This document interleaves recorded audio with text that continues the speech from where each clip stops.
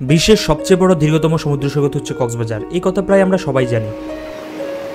নির্দ্বিধায় বলা যায়, আমাদের বাংলাদেশি মানুষের জন্য কক্সবাজার হচ্ছে একটি গর্বের বিষয়, যা পৃথিবীর অন্য কোনো দেশে নেই। কক্সবাজার ভ্রমণে এই পর্বে আমরা কক্সবাজার এবং কক্সবাজারের আশেপাশে পাঁচ থেকে ষাটটি জায়গা একদিনের ভিতরে ঘুরিয়ে ফিরিয়ে দেখাবো। এবং কক্সবাজার গিয়ে আপনারা প্যারাসেলিং করতে পারেন এবং সেই প্যারাসেলিং করার জন্য আপনারা কোথায় যাবেন, কীভাবে যাবেন এবং কত টাকা খরচ পড়বে সব কিছু নিয়ে আলোচনা হবে। সো সঙ্গেই থাকুন।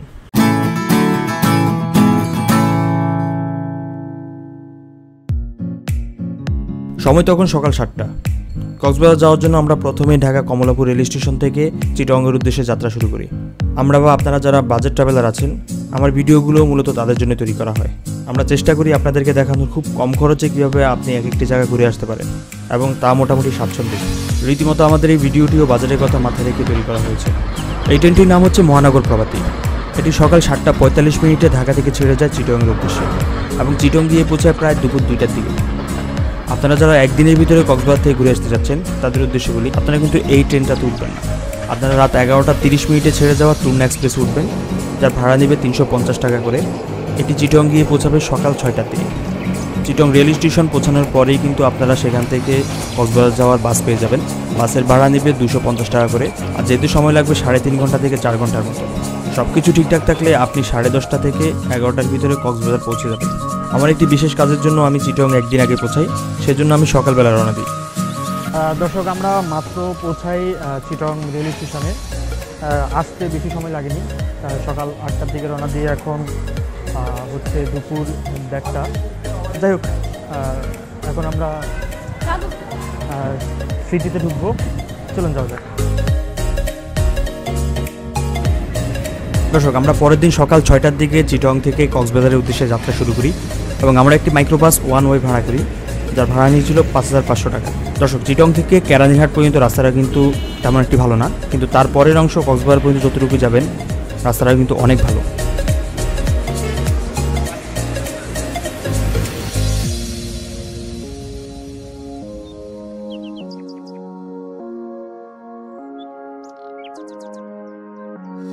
দর্শক বন্ধুরা, আমরা কক্সবাজার যাওয়ার পথে মিডওয়ে ইন নামক এই রেস্টুরেন্টে যাত্রা বিরতি দিই।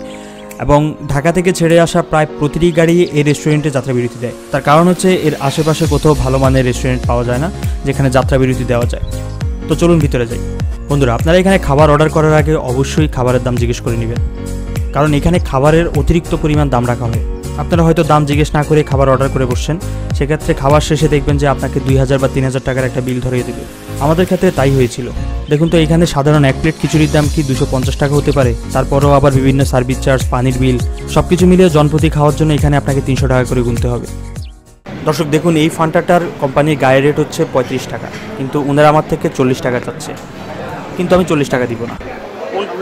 সমস্যা হলো আমার পনেরো টাকা ফেরত দেন, পঞ্চাশ টাকা আপনাকে দিছি, এটার দাম হচ্ছে পঁয়ত্রিশ টাকা। আপনি আমার থেকে এক টাকাও বেশি চাইতে পারেন না। আর এক টাকা যদি বেশি চান, সেক্ষেত্রে আমাকে আপনাদের রেস্টুরেন্টের ম্যামোসও আমাকে দিতে হবে। হ্যাঁ? এটা আমি দিব না। আপনি আমি পাইছি এবার আপনি আমার টাকা দিছি টাকা দেন। এখানে মানে বাইরে যদি একটা ইয়ে দোকানে বলেন। কোথাও চল্লিশ টাকা দিব না। চল্লিশ টাকা আমি কখনো যেই দাম আছে এই দামের বাইরে আমি বাংলাদেশ কোথাও দাম দিই নাই। সে যত বড় ইয়ে হোক।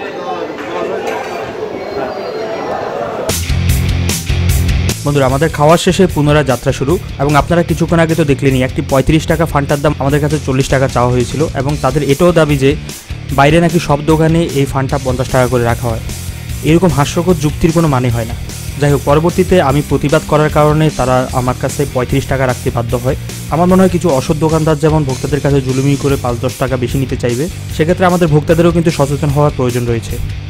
দর্শক, আমরা কিছুক্ষণ আগেই কক্সবাজার পৌঁছাই। আর এখন আমরা কক্সবাজারের প্যারাসিলিংয়ের জন্য যাব। এটা হিমছড়ি রোডে। চলো, যাই। দর্শক, আমরা কক্সবাজার পৌঁছাই সকাল সাড়ে দশটায়। আমরা যেহেতু একটি মাইক্রোবাসে করে এসেছিলাম, সেজন্য আমাদের সময়টা কিছুটা কম লেগেছে। আর এখন আমরা পাহাড় এবং সমুদ্রের মাঝখান দিয়ে যাওয়া মেরিন ড্রাইভ রোড দিয়ে যাচ্ছি দরিয়ানগর সি বিচে এবং সেখানে আমরা প্যারাসিলিং করতে যাব।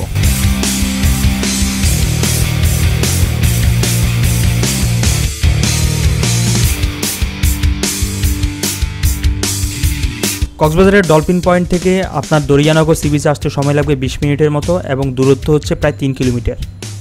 সেখান থেকে আপনারা অটো ভাড়া পাবেন এই জায়গায় আসার।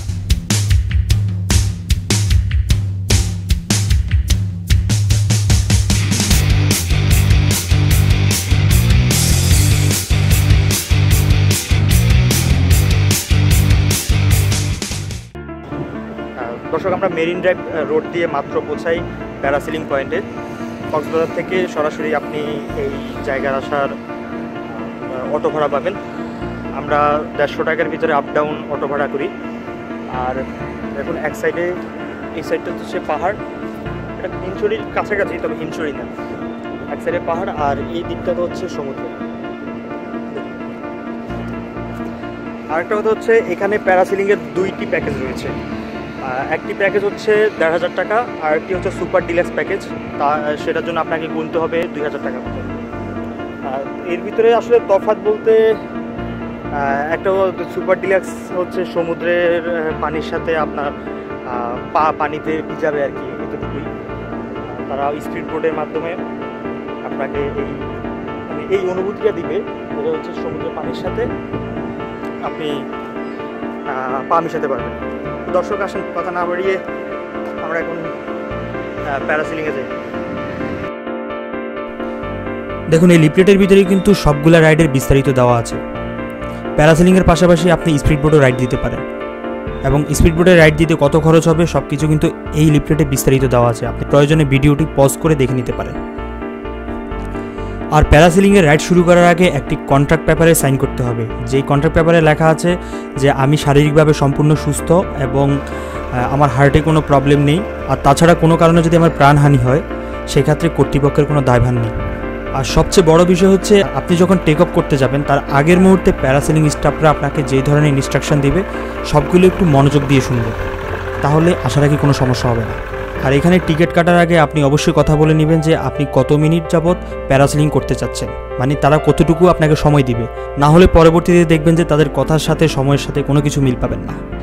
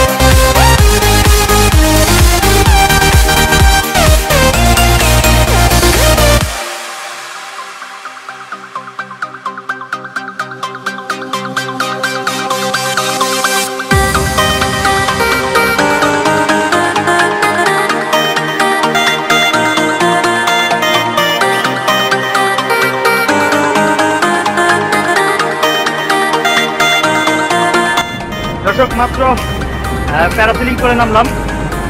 কিন্তু ওদের সাথে কথা ছিল, দশ মিনিটের জন্য প্যারাসিলিং করাবে কিন্তু। ওরা তিন, চার তিন, চার মিনিটের ভিতরে ওদের সাথে টাইম শেষ।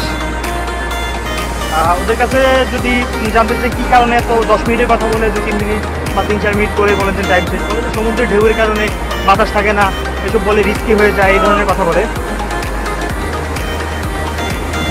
ভাই, আমার সাথে কথা ছিল দশ মিনিট বা পাঁচ মিনিটের উপরে। আপনি কতক্ষণ সময় দিলেন যেটা বলেন বাতাসের উপরে নির্ভর?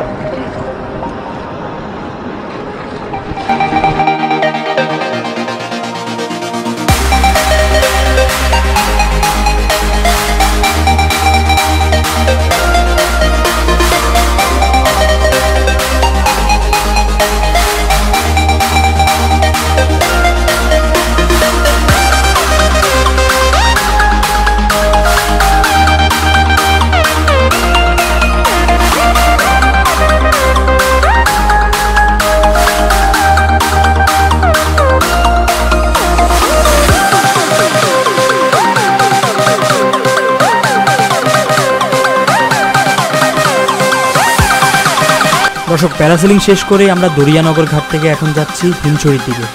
হিমছড়ি গিয়ে আমরা হিমছড়ি পাহাড়, হিমছড়ি বড় ঝর্ণা এবং হিমছড়ি সি বিচ দেখব। চলুন যাই।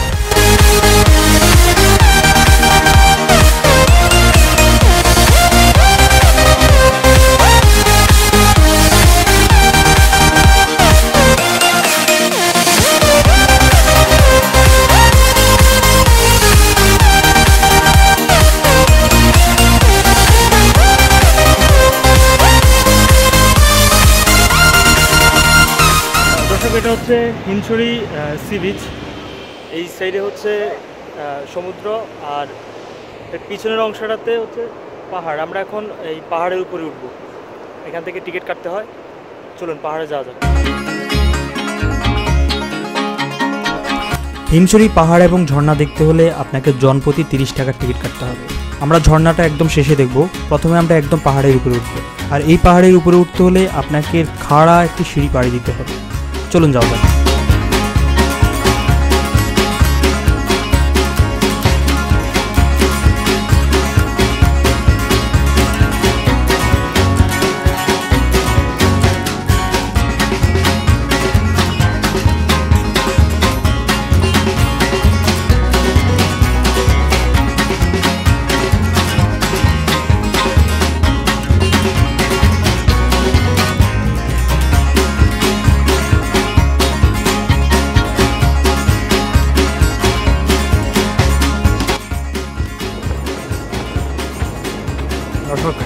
দেখতেই পাচ্ছেন আমরা। চরম পর্যায়ে খাড়া সিঁড়ি দিয়ে পাহাড়ে উপরে উঠছি।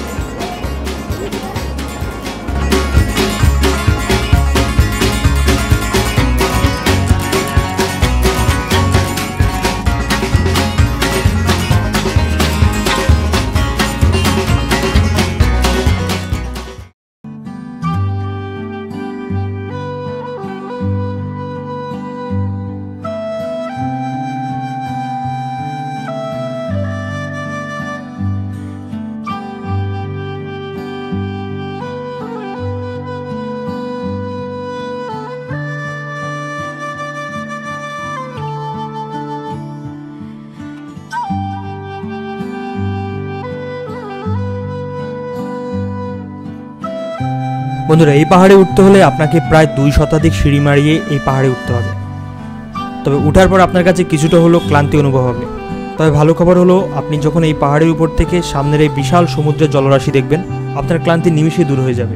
আর আরেকটি কথা হলো, আপনারা কীভাবে হিমচড়ি আসবেন? আপনারা যদি সংখ্যায় চার থেকে পাঁচজন হন, সেক্ষেত্রে আপনারা একটি ব্যাটারি চালিত অটোরিকশা করে আপনারা হিমচড়ি এবং ইনানি বিচ ঘুরে যেতে পারেন। সেক্ষেত্রে আপ ডাউন খরচ পড়বে পাঁচশো টাকা। আর আপনারা যদি সংখ্যায় বেশি হন মানে দশজনের উপরে হন সেক্ষেত্রে আপনারা একটি জিপ বা চাঁদের গাড়ি ভাড়া করতে পারেন। আপ ডাউন খরচ পড়বে দুই হাজার টাকা।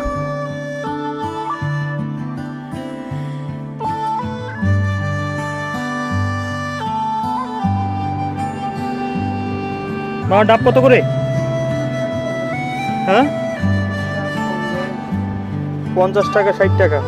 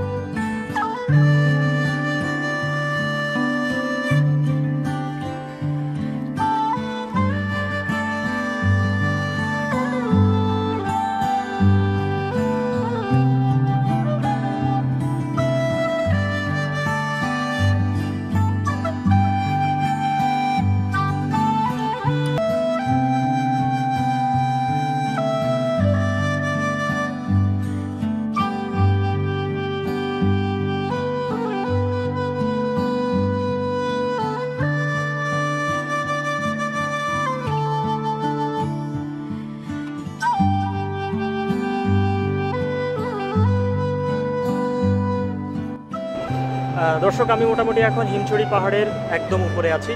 আমার পিছনে বিশাল সাগর দেখতে পাচ্ছেন। আর আমার এই সাইডে অবশ্য পাহাড় রয়েছে। একদিকে সাগর, অন্যদিকে পাহাড়। বিষয়টা, আপনি যখন এই জায়গাতে আসতে পারবেন একমাত্র এই এই সৌন্দর্যটা এখানে আসার পরে আপনি বুঝতে পারবেন আর কি। এখন আপনারা এই সাহা- এখানের বিশাল সাগরটা উপভোগ করুন।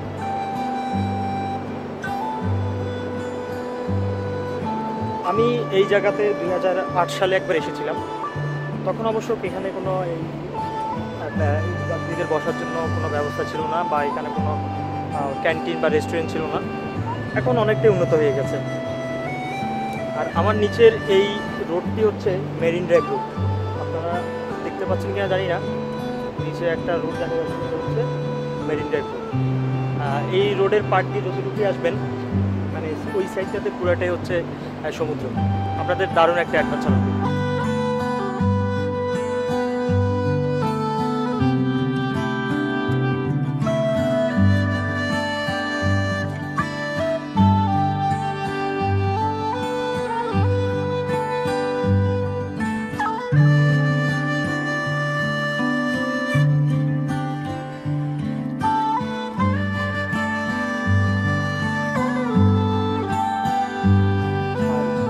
দিকটাতে একটি ঝর্ণা আছে, আমরা এখন সেই ঝর্ণার কাছে যাব। চলো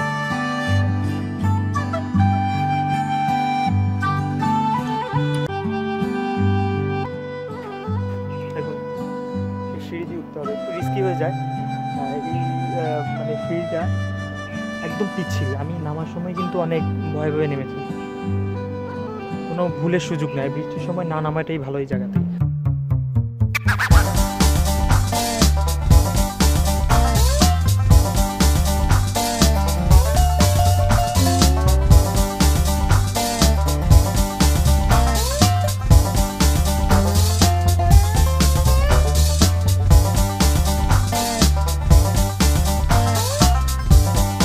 দর্শক, আমাদের কক্সবাজার ভ্রমণের প্রথম পর্ব এখানেই শেষ। আর দ্বিতীয় পর্ব দেখার আমন্ত্রণ রইল। দ্বিতীয় পর্বের লিঙ্ক আমার এই ভিডিও ডিসক্রিপশনে পেয়ে যাবেন। ধন্যবাদ সবাইকে।